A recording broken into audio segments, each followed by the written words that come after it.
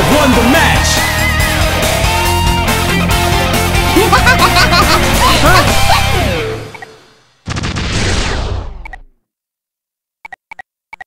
Thanks for your help.